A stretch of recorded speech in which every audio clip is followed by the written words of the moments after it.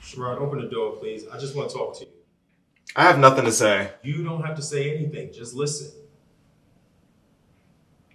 Sherrod, come on.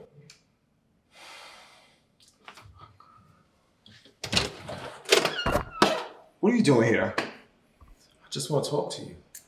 How did you even know I was here? I went to all your usual spots and I figured this would be my last stop. Okay. I'm listening. What? Well, can I come in?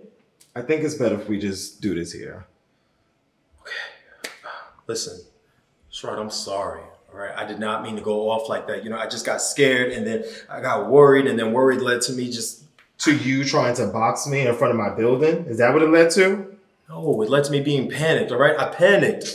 Yeah, I, I just you came in and and your energy was matching my energy, and then shit just went left, Sherrod.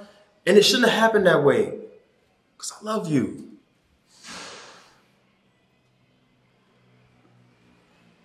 I love you too.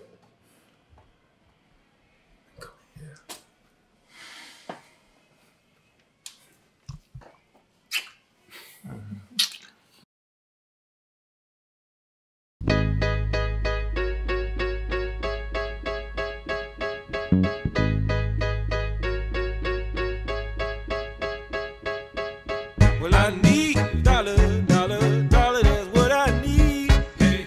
Said I need dollar, dollar, dollar, that's what I need. Well, I need dollar, dollar, dollar, that's what I need. And if I share with you,